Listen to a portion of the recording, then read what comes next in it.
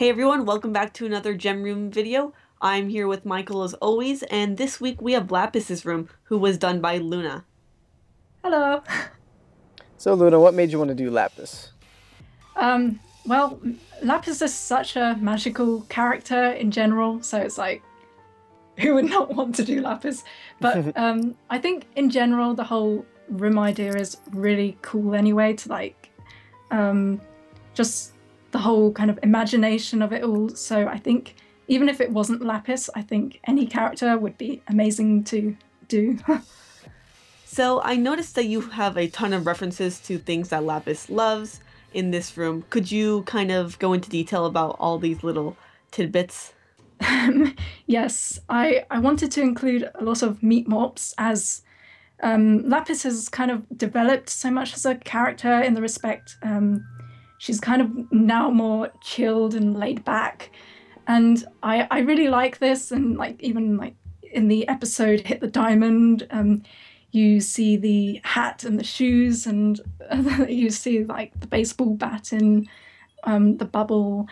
And um, I, I think uh, it, it's just like it's just so fun putting little easter eggs in and such. But um, I think it really kind of like the meep morps, especially, kind of sum up Lapis's character in general, since she's changed from like first seasons and such. So I'm not sure if the audience can see this yet, but there seems to be some stuff on the stairs. Um, I think some of them are like leaves, but I see like a pair of shoes. Um, yes. and like a rainbow looking type thing. Or can you explain what those are? Because I can't um, the it's actually books because you see in I think it was Gem Harvest and oh um, the kindergarten episode mm-hmm. when um, she was like just reading a book in the background and then like and then like paradox bubble appeared behind her. And so I thought it would be quite cute to add books because I can just imagine Lapis liking books ever since that, really. Well, nice little detail. Thanks. So I was wondering, what is this room to Lapis? Is this just a place to relax or something else? Um, yeah, mostly to relax. But I kind of, again, I wanted this magical aspect. I wanted like the stairs to like represent the sky, and I was originally like planning to do like um, more of a sea kind of thing, but then thinking that Lapis's time in the ocean wasn't a very good experience, as we know. Um, and when we saw her in um, oh the episode where sorry I forgot what it's called same old world um, mm. when she was like flying with Steven and she was really kind of enjoying her time so it's kind of like I can imagine it like she just like goes there to like fly around wherever she wants and kind of like a, a bit like Steven's room in that respect where it's just kind of high and you can do what you like in the respect of limitless kind of thing but yeah, I wanted the steps to kind of like um, to symbolize that almost. Cool. So, do you have like any head canons um, as far as like what this room can do, magically speaking? Um, uh, I never really thought of that really, but um, I can just imagine her like chilling out in there and I don't know, um, reading books and whatever. So I noticed that there is a lot of open space and you did manage to put a ton of stuff in there. But was there anything that you wanted to put in the room that just didn't fit or didn't work or you didn't have maybe space um, for it? Yes, actually, in the um, speed drawing, you see on the side I'm taking reference from a sketch I first of all did, and I did like a couple of sketches. And um, you kind of see like, well, there, there were things like um, I wanted like the pillars to look a bit more broken and I kind of ironically wanted it to look a bit like the I took a lot of inspiration from like the galaxy warp and the ruins from the um, moon goddess statue episode from the very beginning mm. um, just because of the whole water and I don't, I don't know the colors and everything and um, I originally wanted to like do a deck chair and um, and like a television with Camp Pining Hearts on. But then um, I kind of thought that might be not because I've kind of made the room look serene um, with all the colors and such. I kind of wanted to keep that um, just this kind of glowy effect and to keep it quite quite clean, if that makes sense. Mm-hmm. So yeah, I kind of and I also wanted to make the steps look all crumbly and broken, um, but um, I don't really have enough time for that, so I just left it. Yeah, well, hopefully Lapis has uh, moved past being crumbly and broken.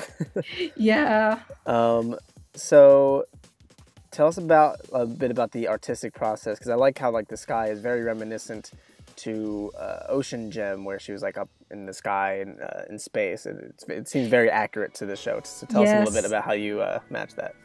yeah, I was very again inspired by that scene. Um, I well, I I do vector artwork, so I use the pen tool on Photoshop, and um, and I just used like loads of gradients, and again the color scheme I kind of took from that that particular episode from Ocean Gem, and um, yeah, I love that scene. Um, the whole room actually was I wanted again for the magical aspect.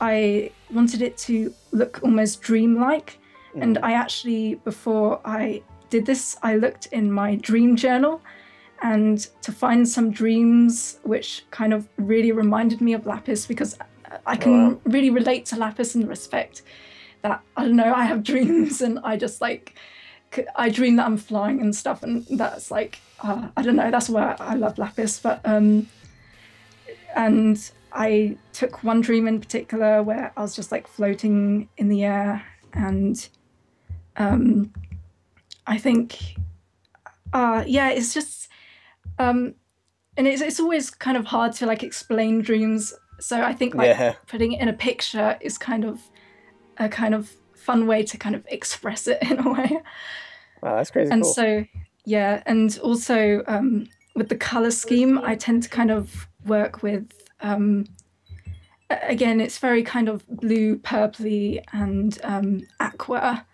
so the colors are very almost like very um, oh not much color apart from in the blue spectrum kind of thing so yeah Yeah, I love that you keep a dream journal and that, and then you were able to use that as inspiration. Uh, so perhaps moving on to some stuff about you personally. Uh, do you have a personal favorite gem in the show? Um, yes, I do, and I, although I really love Lapis, um, I think um, as a character, she's not my favorite because I kind of like her more with Peridot. So I kind of think they depend on each other for me to like Lapis. So I actually, um, I think my favorite has to be Pearl because I can kind of like, I love her. Um, the way how she kind of looks up to Rose and looks up to Steven in a way, and and especially like Rose's scabbard. And uh, yes. um, so I think I'll have to say Pearl. So many people love Pearl. I didn't know uh, she had this big a fan base. Yeah. uh, I, I think with me and with me, it's just the fact that I can relate to that um, to that feeling of looking up to someone, and a lot of her songs are very kind of um, meaningful to me. Yeah. Her, the lyrics and such. So kind of uh, writing off that, do you have any favorite episodes? Um, oh, probably.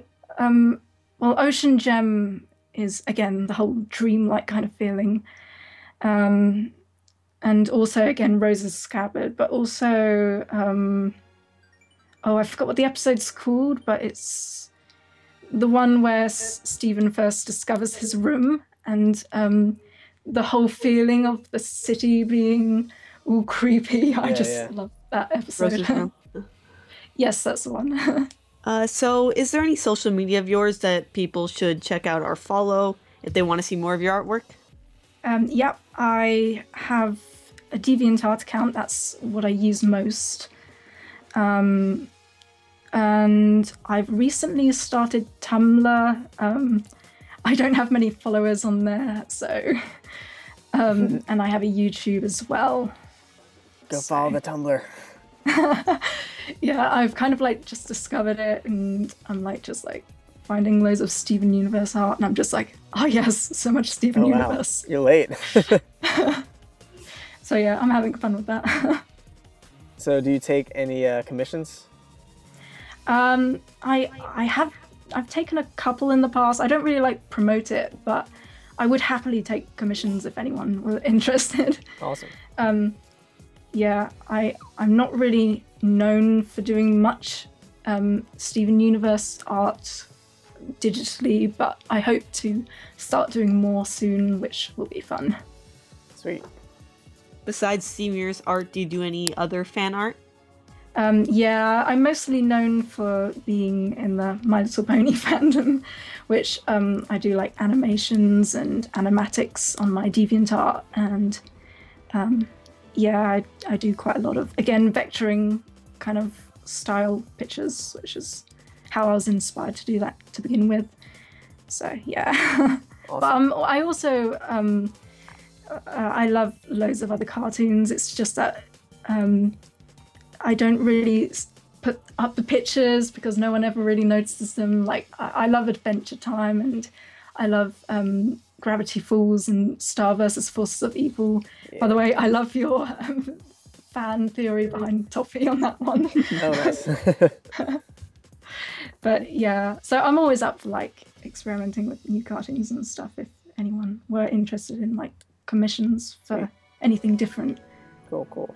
Um, thank you so much, Luna, for joining us with this, uh, making this gem room for us. Uh, she is actually going to be Yellow Diamond in our upcoming comic dub series. So when that comes out, you'll get to see her a couple of times in there, and it's going to be awesome. So, like I said before, uh, thank you for joining us, and we'll see you next week with another gem room. Later.